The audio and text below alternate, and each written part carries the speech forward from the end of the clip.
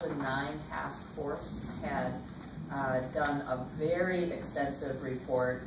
The, the, the new, the task force was appointed in 2010 or so, didn't have a lot of time uh, to get their sea legs and get the same sort of momentum going before, the, before they were done. So this group actually, in its first year, when we were all appointed and got together for the first time, which was November of 2011, I believe, um, uh, really used that 2009 report to start our work. And we do a, a, yearly report to the governor, but we also take that opportunity to educate legislators as well about the state of broadband in Minnesota. The overall goal is border-to-border broadband at a high speed. Um, and we have kind of moved this past here. So two sessions ago, uh, a year ago, a little more than a year ago, we actually advocated for the establishment of the Office of Broadband, uh, and that ended up being in the Department of Employment and Economic Development, which we think is a good match in the sense that broadband is an economic development tool. Um, it, it's an agency that's used to promotion, and so this was an important thing to many people who worked on the issues. So in that case, originally Commerce was the department that oversaw us. Diane came from the Commerce Department to now come over. Maybe you're officially on leave or, or loan or something like that. Loan, loan to deed. So Diane and Bill Hoffman have been with us the entire time. Bill works for Connect Minnesota. Um, Dana was part of our task force and actually ended up applying for the position of Executive Director of Broadband. She's in, been in place for about six months, mm -hmm. and we had a pretty uh, big, bold vision of a $100 million fund during this legislative session.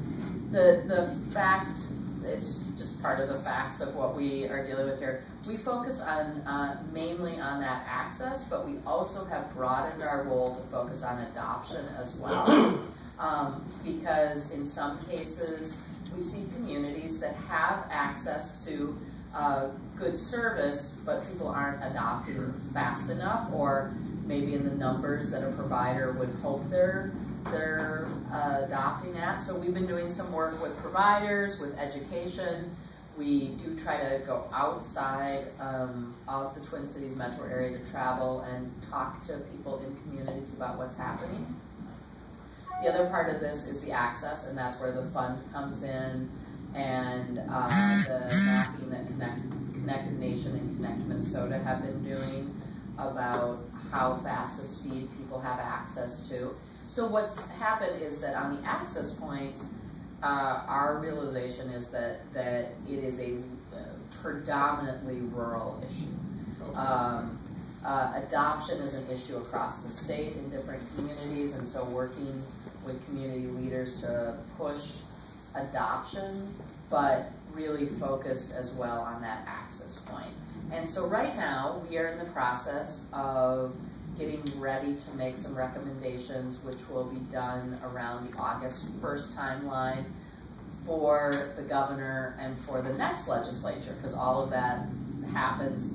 There's a there's there's a further upstream movement than people understand in that process, and so we're working on, especially if there's going to be maybe a suggestion on more money going into this fund in the next two-year budget by the state, we will need to make that recommendation in August. So that's a good example. What is the fund used for? You guys a lending agency to rural, or is it, you know? No, it's a grant fund with a one-to-one -one match for providers. Okay, okay. Yeah, gotcha. yeah. And so that's what Dana was talking about. The deed is, and Dana's heading up the work to establish the boundaries around the fund. Okay, I got it. Um, but largely, we will see this fund helping in points of real places where people they may have some service, but they really don't have service at an adequate level at all to be able to connect uh, and do the things that we would all expect you might be able to do. So we have a broad range of representation on the task force. Obviously providers, uh, as well as local units of government, tribal representation, uh, communities of interest, uh, business representation, trying to get that broader point of view as to, you know, how we move forward together. So we work on a consensus basis. You don't see us doing things that, that we can't kind of get our hands around. Of course, once it goes out of our hands and goes towards uh, the legislature or the governor, we, we can try to help guide that work, but we lose control to some degree of what the final product looks like, so. So we advocated initially for that fund, we did work to try to help shape the fund, but there's obviously a lot of pressures and needs that go into that. Sure. So does that help? Thanks.